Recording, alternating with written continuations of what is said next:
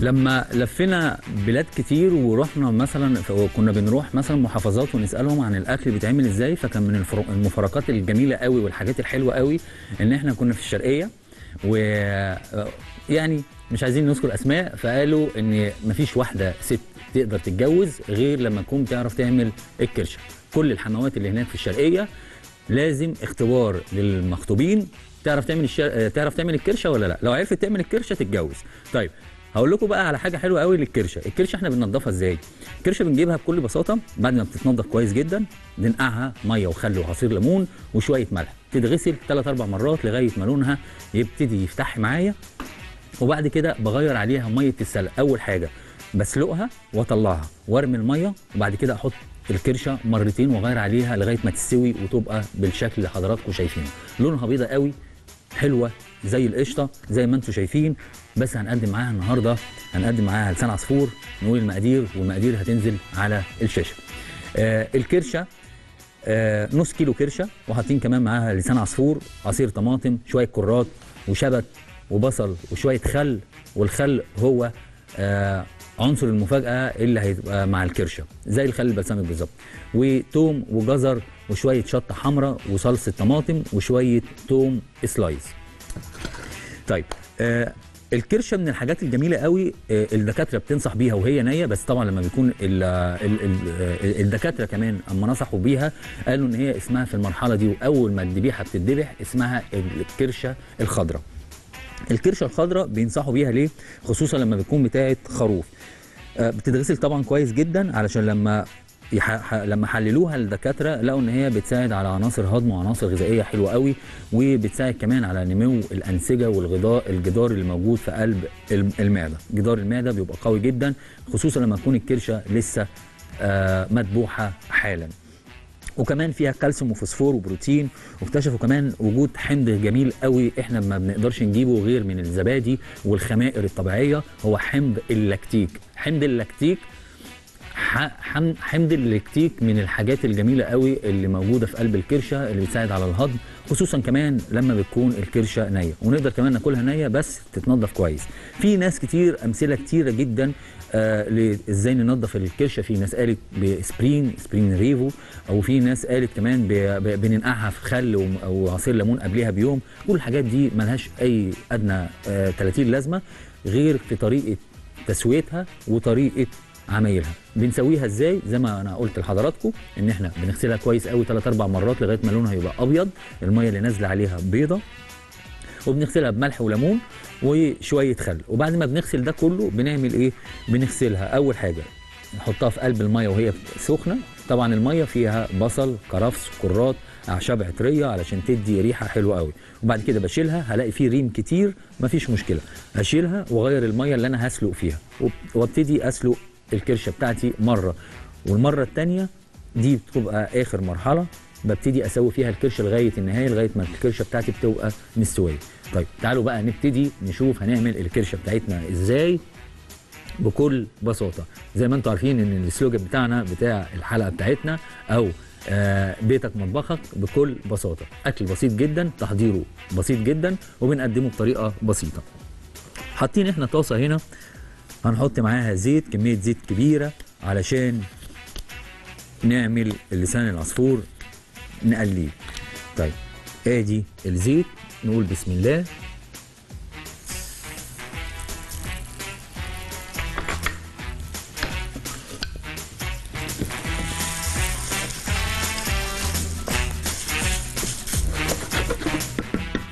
طيب لغاية ما ده يلون هنعمل الصوص بتاع الكرشة. صوص الكرشة هنعمله صوص الفاكهه أو زي ما بيقولوا صوص الكمونية. صوص الكمونية هنحط له صوص طماطم وهنحط معاه كمون كتير قوي كتير من هنا لغاية المنصورة.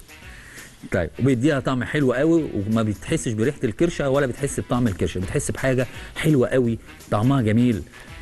بتحس إن أنت في عندك كمان إحساس إن أنت بتاكل نوع من أنواع اللحوم لكن مختلف. خدوا بالكم الأحشاء والحاجات اللي موجودة في قلب الخرفان وفي قلب آه، آه، الذبايح.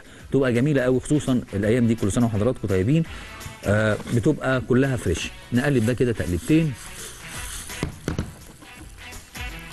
هنحط شوية زيت في الطاسة دي. ومعاها التوم. التوم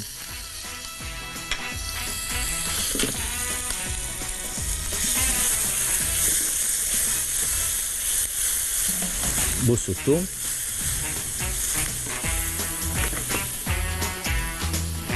في هنحط هنضيف عليه بقى دلوقتي شوية الخل.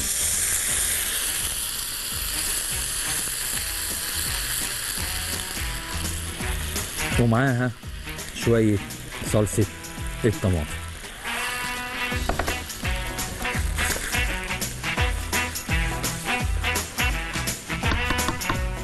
هنا ونقلب دي تقلبتين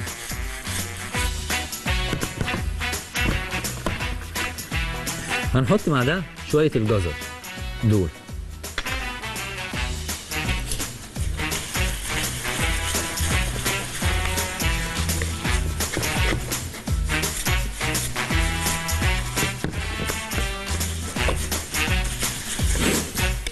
ريحتها بقت جميلة جدا خلت عيني تدمع يعني عايز أقول لكم بجد عيني دمعت.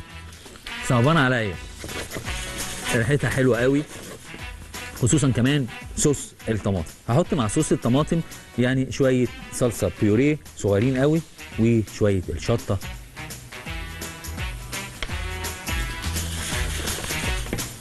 بقية المكونات بتاعتنا؟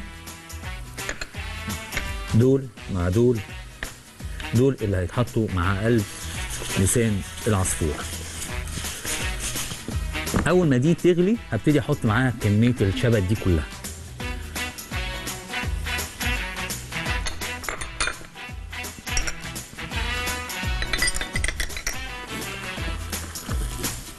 الكمون والملح في التوقيت ده. أدي الكمون كمية كمون كتير. والملح. ونقلب. ونقلب تقلبتين طيب.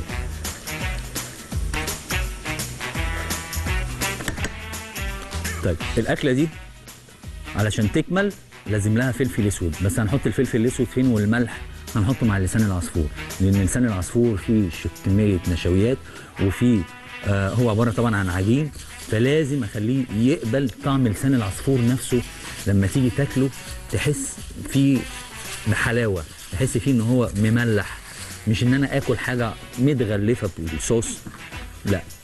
هو ده التكنيك أو آه، الطرق بتاعة ال- الشيف اللي هو يقدر إزاي يخلي كل حاجة بتتماشى مع بعض. طعمها حلو قوي وفي نفس الوقت ما احسش بطعم مختلف حاجة زيادة أو حاجة ناقصة. أو في نفس الوقت كمان ما احسش إن طعم لسان العصفور في سكة تانية خالص وال- والصوص بتاعي في حاجة تانية خالص. لازم أحس إن الاتنين طعمهم ماشي مع بعض وانسيابي وفي زي ما بيقولوا كده سيمفونية بتتعزف ما بين الأكل وبعضه لسان العصفور لما احلو أهو ولونه بقى أحمر وجميل. حلو قوي أنا عاجبني قوي اللون ده. هبتدي أحط إيه بقى؟ هبتدي أحط البصل بتاعنا. علشان لغايه عايز بس أوري حاجة لحضراتكم لو يا ريت لو الكاميرا تيجي. لسان العصفور لسه كله لسه لسان العصفور ما احمرش للدرجة اللي أنا عايزها. بس أنا لو أنا حطيت البصل ولسان العصفور احمر البصلة هتبقى لسه نية ولسان العصفور هيكمل تسويته هحط بقى الكرات بتاعي الجميل ده.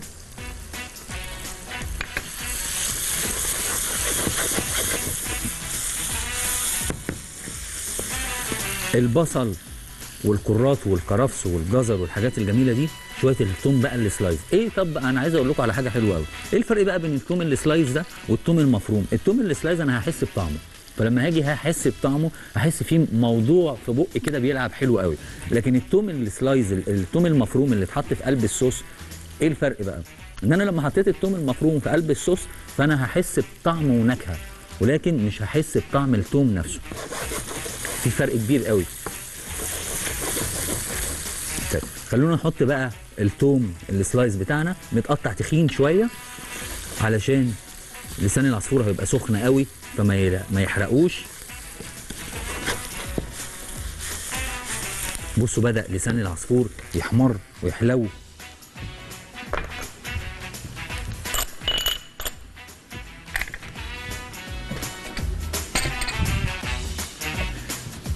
نقلب كده تقلبتين.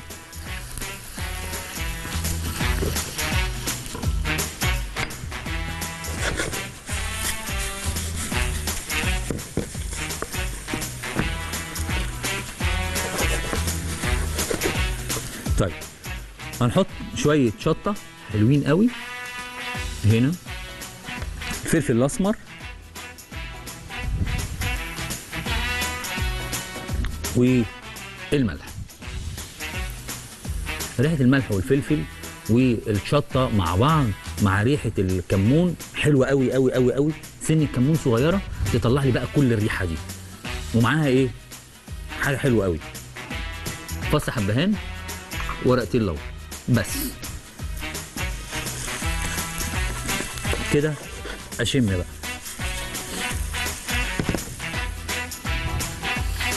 طيب. مفعول السحر. وأنا بقى هحط الكرشة دلوقتي. بكل بساطة.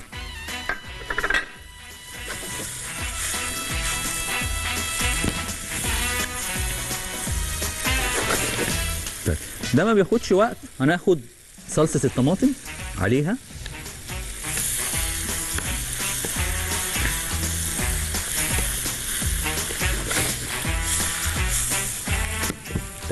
خلونا كمان نحط بقيه صوص. عصير الطماطم اللي إحنا كنا عصرينه من شوية. وهنحط معاه بقيه صوص الطماطم الجميل ده. ومحتاجين كمان. طيب خلونا كمان نستقبل صديقتنا وحبيبتنا مدام نادية. ألو. السلام عليكم. عليكم السلام ورحمة الله وبركاته. إزاي حضرتك السيف جلال؟ إزاي عامل إيه؟ إزاي حضرتك؟ كل سنة وأنت طيبة. كل سنة وأنت طيب. يا رب يكون ولادك بخير. قربتوا علينا العيد خالص أهو. أهو يلا عشان بنبتدي أهو. تسلم إيدك والله ربنا يخليك. كل سنة وحضرتك طيبة. كل سنة وانت طيب وكل كاس البرنامج بخير وحضرتك. طيبة. آه بنعمل كل النهارده مصر بخير يا رب يا رب دايما. كلنا طيبين. كل سنة وحضرتك طيبة. لو سمحت يا شيف جلال أنا جبت امبارح طحال آه. وسلقته وحطيته في الفريزر. حلو. بس أنا طلعت منه حتة كده وقالتها ما, ما كانش حلو. عايزة له كده طريقة يعني تبقى طعمها حلو كده لو معمول بأي خلطة كده. طيب ممكن؟ إحنا ممكن نحط ال... طب تتابعيني على الصفحة هقول لك على حاجة حلوة قوي وأبعت لك حاجة. أيوة. ماشي؟ إن شاء الله. حاضر. طب ممكن نقول ولا يستفاد غيري برضه؟ آه، طبعا. جايب طحال طيب بصي إحنا ممكن نجيب ال... التوم بتاعنا ماشي؟ ألف, آه. ألف شكر يا جلال تحت أمرك تحت أمرك. هنجيب لل... للطحال الطحال من الحاجات الح... آه، الحلوة قوي اللي بتحب الكمون والكزبرة الناشفة. هنجيب شوية خل كزبرة ناشفة وعصير ليمون وشوية كمون وملح وفلفل. هنحطهم في قلب بولة صغيرة وننقع فيهم الطحال. نطلع طاسة تكون سخنة قوي نطلعها ونحط عليها آه نحط على ال- الطاسة تكون ما فيهاش زيت كمان من غير زيت عشان بيطلع زيت كتير. وتعالوا كمان نحط ده. ده هيكمل تسويته في قلب الفرن. ده متهيألي حلو قوي. هنغرفه عايز أقول لحضراتكم على حاجة. لسان العصفور هيشرب كل المية دي وهيبان لنا حاجة حلوة قوي. تعالوا نحط ده في قلب الفرن بتاعتنا.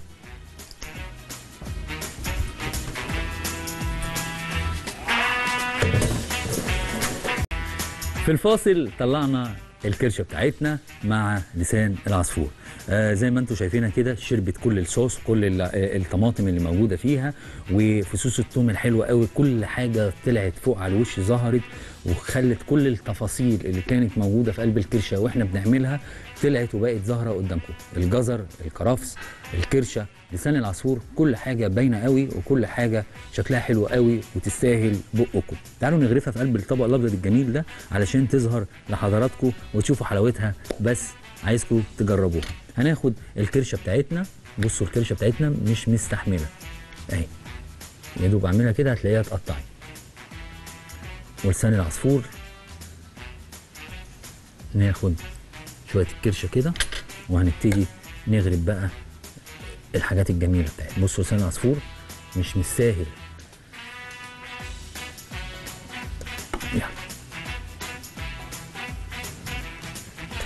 حلو قوي لما يتعمل في العيد.